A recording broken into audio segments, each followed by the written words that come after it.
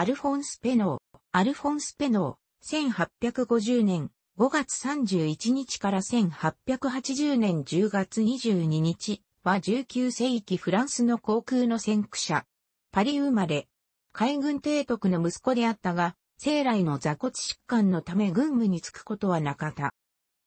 イギリスのジョージ・ケリー教と並んで、近代航空工学の創始者と評価されている。1870年代に優れた模型飛行機を完成させ、後に少年期のライト兄弟に影響を与えた。また実機も設計しており、これは引き込み足、可動な操縦翼面などの先駆的な機構を備えた水陸両用機であったが、未制作に終わっている。現在の視点から見れば、数々の点で先見的な才を持ちながら、世に認められず、若くして貧困と病による不遇のうちに自殺した。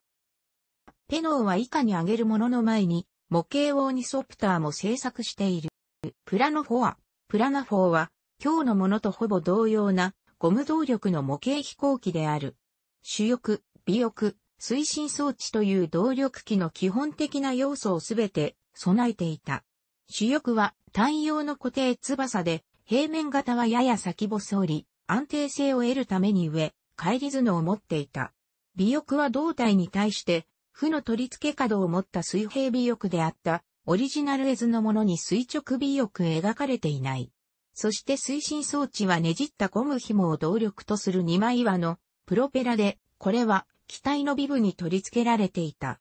1871年にパリで公開飛行に供された。動力ゴムが露出した一本道、スティック型の片面張り翼で、現在のライトプレーンに類似している。ただしプロペラは機尾につく、推進式で、主翼は前縁材のみで指示し後縁材はない。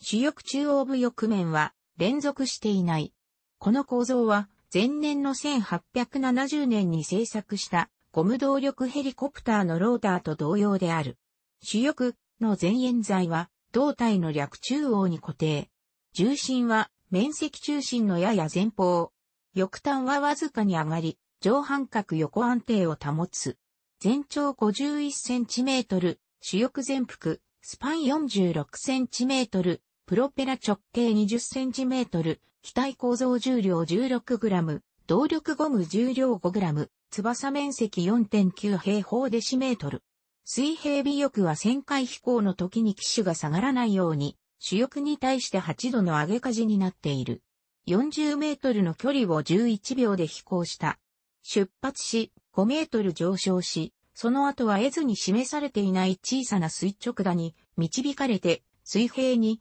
数回、セベラルの旋回飛行を行い、ゴム、巻き数240回が戻り切った時に、出発点付近に難着陸した。飛行速度は3.7メートル毎秒で、同じ翼面荷重の昆虫と同程度。動力ゴムの巻き数、エネルギーなどの評価は、模型飛行機用動力ゴム号を参照。ゴムを60回巻いて弱い動力で飛ばしたとき、風速2.7メートル毎秒の気流で地面に対して停止した。記録飛行は9000回であり、バンク角は30から40度になる。水平面に投影される有効翼面積が減り、旋回気流によって水平尾翼は上向きの気流を受けて機種を下げるから直線飛行の時に比べて飛行速度が大きくなり、必要な飛行エネルギーも増加する。蒸気の飛行速度の差は、旋回飛行と直線飛行の違いによる。